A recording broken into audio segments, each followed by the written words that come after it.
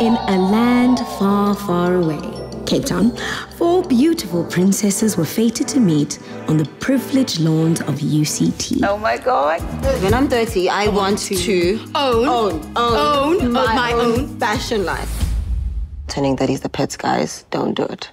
Dude, what is this? Found out that I'm pregnant today. I need you now. Oh, you came. Of course. I love how he's such a present father to our daughter. Uh, he's barely getting that part right. You act like I'm the only parent around here. Now that you're married, you no longer need a job.